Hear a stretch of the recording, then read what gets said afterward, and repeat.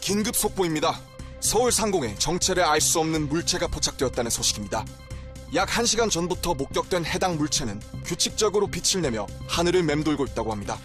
현장에 나가 있는 취재 기자 연결합니다. 김석진 기자, 자세한 현장 상황 알려주시죠. 네, 저는 지금 서울 하이브 용산 부근에 나와 있습니다. 약 1시간 전부터 서울 상공에 나타난 해당 물체는 별다른 움직임 없이 규칙적으로 빛을 발하고 있습니다. 이 물체와 현상에 대해 정부 역시 설명이 어렵다는 입장인데요. 어, 시민 제보와 인근 CCTV를 확인한 결과 해당 물체는 아무런 전조 증상 없이 순식간에 나타났습니다.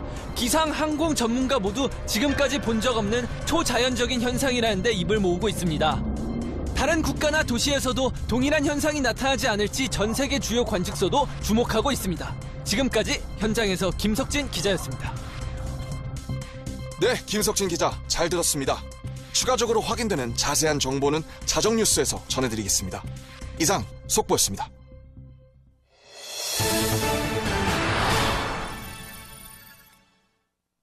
긴급 날씨 예보입니다. 속보에서 전해드린 물체의 등장 이후 대한민국의 기온이 이례적으로 상승하고 있습니다. 금주 평균 22도를 웃돌던 서울시의 기온은 해당 물체 등장 1시간 만에 43도까지 상승했습니다. 길거리의 시민 대부분 급격히 뜨거워진 날씨에 연신 땀을 흘리고 있는 모습입니다.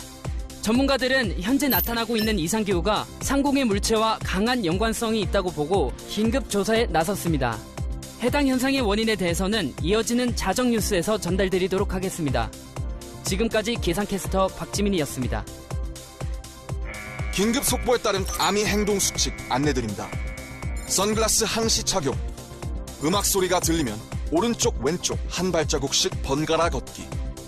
버터 함유량 38.6% 이상의 음식 자주 섭취.